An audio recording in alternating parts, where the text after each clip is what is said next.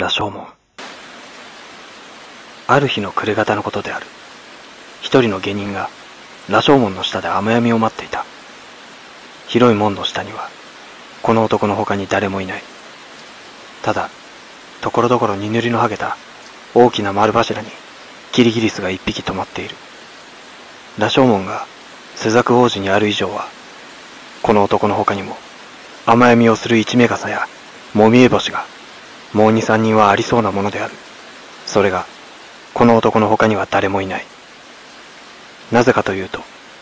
この二三年京都には、地震とか、辻風とか、火事とか、飢饉とかいう災いが続いて起こった。そこで落中の錆びれ方は一通りではない。旧記によると、仏像や仏具を打ち砕いて、その荷がついたり、金銀の箔がついたりした木を道端に積み重ねて、焚木の城に売っていたということである。落中がその始末であるから、羅生門の修理などは、もとより誰も捨てて顧みるものがなかった。すると、その荒れ果てたのを良いことにして、孤りが住む、盗人が住む、とうとうしまいには、引き取り手のない死人をこの門へ持ってきて捨てていくという習慣さえできた。日の目が見えなくなると、誰でも気味を悪がって、この門の近所へは足踏みをしないことになってしまったのである。その代わりまた、カラスがどこからか、たくさん集まってきた。昼間見ると、そのカラスが何羽となく輪をかいて、高いシビの周りを泣きながら飛び回っている。ことに門の上の空が、夕焼けで赤くなる時には、それがゴマを巻いたようにはっきりと見えた。カラスは、もちろん門の上にある死人の肉をついばみに来るのである。もっとも今日は、黒煙が遅いせいか、一番も見えない。ただ、ところどころ崩れかかった、そうしてその崩れ目に、長い草の生えた石段の上に、カラスの糞が、点々と白くこびりついているのが見える。下人は、七段ある石段の一番上の段に、洗いざらした紺の青の尻を据えて、右の方にできた大きなニキビを気にしながら、ぼんやり雨の降るのを眺めていた。作者はさっき、下人が雨闇を待っていたと書いた。しかし、下人は雨が止んでも、格別どうしようというあてはない。普段なら、もちろん主人の家へ帰るべきはずである。ところが、その主人からは、四五日前に暇を出された。前にも書いたように、当時京都の町は、一通りならず追尾していた。今この下人が、長年使われていた主人から暇を出されたのも、実はこの水尾の小さな余波に他ならない。だから、下人が甘闇を待っていた、というよりも、雨に降り込められた下人が、雪どころがなくて、途方に暮れていた、と言った方が適当である。その上、今日の空模様が少なからず、この平安町の下人のセンチメンタリズムに影響した。猿の国下狩りから降り出した雨は、未だに上がる景色がない。そこで下人は、何を置いても、差し当たり明日の暮らしをどうにかしようとして、いわばどうにもならないことをどうにかしようとして、取り留めもない考えをたどりながら、さっきから朱雀王子に降る雨の音を聞くともなく聞いていたのである。雨は羅生門を包んで、遠くからザメッという音を集めてくる。夕闇は次第に空を低くして、見上げると、門の屋根が斜めに突き出したイラカの先に重たく薄暗い雲を支えている。どうにもならないことを、どうにかするためには、手段を選んでいるいともはない。選んでいれば、追事の下か、道端の土の上で飢え死にをするばかりである。そうして、この門の上へ持ってきて、犬のように捨てられてしまうばかりである。選ばないとすれば、芸人の考えは、何度も同じ道を停滞した挙句に、やっとこの局所へ放着した。しかしこの、すればは、いつまで経っても、結局すればであった。芸人は、手段を選ばないということを肯定しながらも、このすればの型をつけるために、当然、その後に来たるべき、盗人になるより他に仕方がない、ということを、積極的に肯定するだけの勇気が出ずにいたのである。下人は、大きな草目をして、それから大義そうに立ち上がった。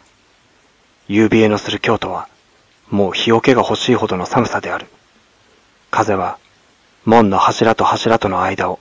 夕闇とともに遠慮なく吹き抜ける。荷塗りの柱に止まっていたキリギリスも、もうどこかへ行ってしまった。下人は首を縮めながら、山吹の風見に重ねた紺の青の肩を高くして、門の周りを見回した。雨風の憂いのない、人目にかかる恐れのない、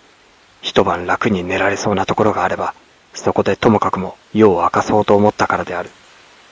すると、幸い門の上の牢へ上がる幅の広い、これも荷を塗ったはしごが目についた。上なら、人がいたにしても、どうせ死人ばかりである。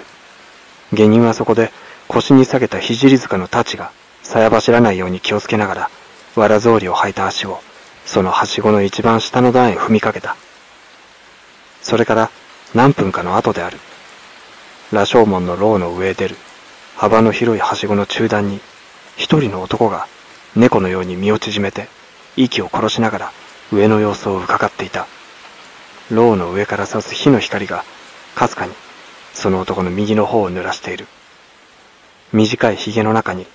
赤く海を持ったニキビのある方である。下人は初めから、この上にいる者は死人ばかりだと高をくくっていた。それが、はしごを二三段上がってみると、上では、誰か火を飛ばして、しかもその火を、そこここと動かしているらしい。これは、その濁った黄色い光が、隅々に蜘蛛の巣をかけた天井裏に、揺れながら映ったので、すぐにそれと知れたのである。この雨の夜に、この羅生門の上で火を灯しているからは、どうせただのものではない。下人はヤモリのように足音を盗んで、やっと急なはしごを一番上の段まで這うようにして登り詰めた。そうして、体をできるだけ平らにしながら、首をできるだけ前へ出した。恐る恐る、牢の内を覗いてみた。見ると、牢の内には、噂に聞いた通り、いくつかの死骸が無造作に捨ててあるが、火の光の及ぶ範囲が思ったより狭いので、数はいくつともわからない。ただ、おぼろげながら知れるのは、その中に裸の死骸と着物を着た死骸とがあるということだけである。もちろん、中には女も男も混じっているらしい。そうして、その死骸は皆、それがかつて生きていた人間だという事実さえ疑われるほど、土をこねて作った人形のように、口を開いたり、手を伸ばしたりして、ゴロゴロ床の上に転がっていた。しかも、肩とか胸とかの高くなっている部分には、ぼんやりした日の光を受けて、低くなっている部分の影を一層暗くしながら、永久に推しのごとく黙っていた。下人は、それらの死骸の腐乱した周期に思わず鼻を覆った。しかし、その手は次の瞬間には、もう鼻を覆うことを忘れていた。ある強い感情が、ほとんどことごとくこの男の嗅覚を奪ってしまったからである。下人の目はその時、初めてその死骸の中にうずくまっている人間を見た。日和田色の着物を着た背の低い痩せた白髪頭の猿のような老婆である。その老婆は、右の手に火を灯した松の木切れを持って、その死骸の一つの顔を覗き込むように眺めていた。髪の毛の長いところを見ると、多分女の死骸であろう。下人は、六部の恐怖と四部の好奇心とに動かされて、暫時は息をするのさえ忘れていた。旧期の記者の語を借りれば、頭身も毛も太るように感じたのである。すると老婆は、松の木切れを床板の間に刺して、それから今まで眺めていた死骸の首に両手をかけると、ちょうど、猿の親が猿の子のしらみを取るように、その長い髪の毛を一本ずつ抜き始めた。髪は天に従って抜けるらしい。その髪の毛が一本ずつ抜けるのに従って、芸人の心からは恐怖が少しずつ消えていった。そうして、それと同時に、この老婆に対する激しい憎悪が少しずつ動いてきた。いや、この老婆に対すると言っては語弊があるかもしれない。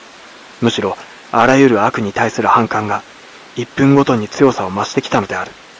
この時、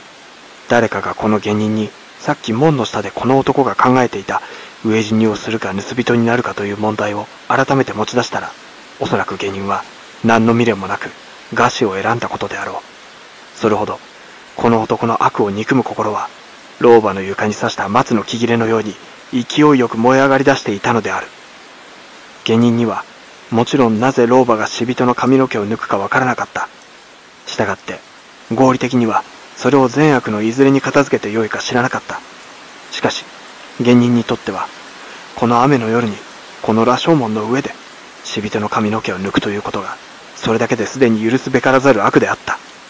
もちろん下人は、さっきまで自分が盗人になる気でいたことなどは、とうに忘れていたのである。そこで下人は、両足に力を入れて、いきなりはしごから上へ飛び上がった。そうして、聖塚の太刀に手をかけながら、大股に老婆の前へ歩み寄った。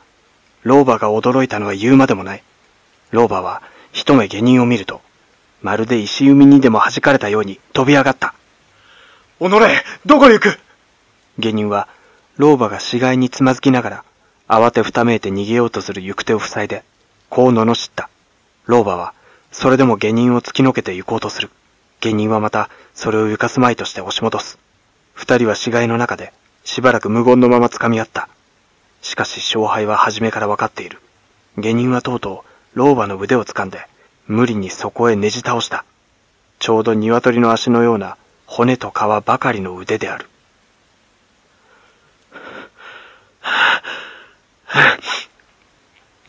何をしていた？いえ、言わぬとこれだぞよ。下人は老婆を突き放すと、いきなり太刀の鞘を払って、白い鋼の色を、その目の前へ突きつけた。けれども老婆は黙っている。両手をわなわな震わせて、肩で息を切りながら、目を、目玉がまぶたの外へ出そうになるほど見開いて、推しのように執念く黙っている。これを見ると、下人は初めて明白にこの老婆の生死が、全然自分の意志に支配されているということを意識した。そうしてこの意識は、今まで険しく燃えていた憎悪の心を、いつの間にか冷ましてしまった。後に残ったのは、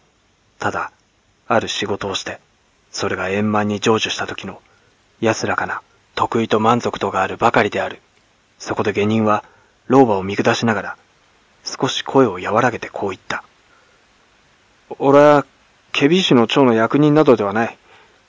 今しがた、この門の下を通りかかった旅の者だ。だからお前に縄をかけて、どうしようというようなことはない。ただ、今自分この門の上で何をしていたのだか、それを俺に話さえすればいいのだ。するとロバは、見開いていた目を一層大きくして、じっとその下人の顔を見守った。まぶたの赤くなった肉食鳥のような鋭い目で見たのである。それから、シワで、ほとんど鼻と一つになった唇を、何か物でも噛んでいるように動かした。細い喉で、尖った喉仏の動いているのが見える。その時、その喉から、カラスの鳴くような声が、あえぎあえぎ、下人の耳へ伝わってきた。この髪を抜いてな。この髪を抜いてな。かずらにしようと思ったのじゃ。下人は、老婆の答えが存外平凡なのに失望した。そうして失望すると同時に、また前の憎悪が、冷ややかな部別と一緒に心の中へ入ってきた。すると、その景色が先方へも通じたのであろう。老婆は、片手にまだ死骸の頭から奪った長い抜け毛を持ったなり、引きのつぶやくような声で、口ごもりながら、こんなことを言った。なるほどな。死人の髪の毛を抜くということは、なんぼ悪いことかもしれぬ。じゃが、ここにいる死人どもは、皆そのくらいのことをされてもいい人間ばかりだぞよ。現在、わしが今、髪を抜いた女などは、蛇を四寸ばかりずつりに切って、干したのを、干し魚だと言うて、縦脇の陣へ売りにいいんだわ。エアミにかかって死ななんだら、今でも売りにいんでいたことであろう。それもよ。この女の売る干し魚は、味が良いと言うて、縦脇どもが欠かさず裁量に買っていたそうな。わしは、この女のしたことが悪いとは思うていぬ。せねば飢え死にをするのじゃて、仕方がなくしたことであろう。されば今、またわしのしていたことを、悪いこととは思わんぞよ。これとてもやはりせねば、餓死をする者て、仕方がなくすることじゃわいの。じゃて、その仕方がないことをよく知っていたこの女は、大方わしのすることも多めに見てくれるであろう。老婆は大体こんな意味のことを言った。下人は、太刀を鞘に収めて、その太刀の塚を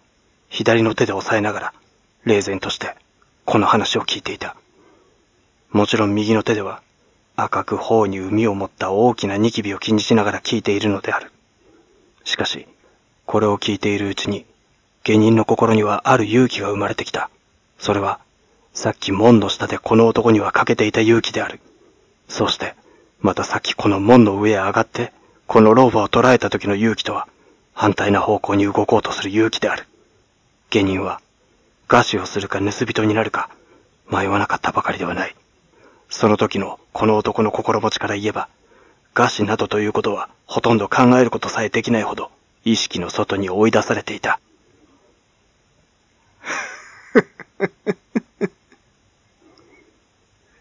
きっとそうか。老婆の話が終わると、下人はあざけるような声で念を押した。そうして一足前へ出ると、不意に右の手をニキビから離して、老婆の襟髪をつかみながら噛みつくようにこう言った。では、俺が火はぎをしようと恨むまいな。俺もそうしなければ、飢え死にをする体なのだ。